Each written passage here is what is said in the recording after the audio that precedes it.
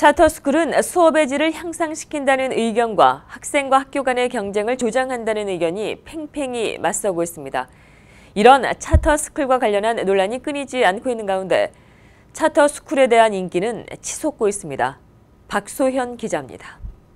차터스쿨이 수업의 질을 향상시킨다는 주장이 있지만 공교육 시스템의 불균형을 초래한다는 주장도 만만치 않습니다.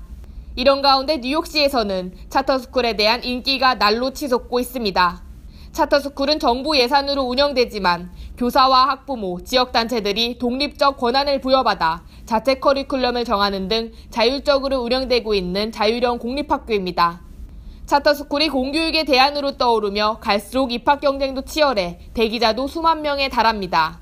뉴욕시의 대표적인 charter school 석세스 아카데미는 지난해 여름부터 온라인 커리큘럼을 모든 교사에게 무료로 제공하고 있습니다. 또한 최근 6,800만 달러를 들여 교사 트레이닝 센터와 같은 charter school 네트워크를 시행 중입니다.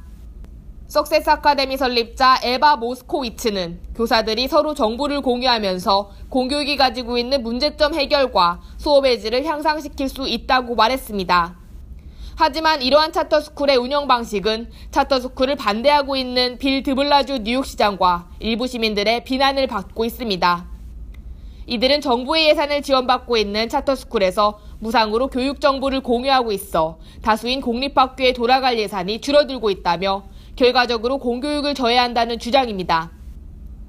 하지만 석세스 아카데미 측은 공교육의 틀에 박힌 제도가 학생들의 교육 능력을 저해할 수 있다고 반박하고 있습니다. 이렇게 논란이 일고 있는 가운데에도 올해 뉴욕시 차터스쿨에는 7만 3천여 명이 지원했습니다. 이는 지난해보다 7%가 증가한 것으로 역대 최대를 기록했습니다. KBTV 박소연입니다.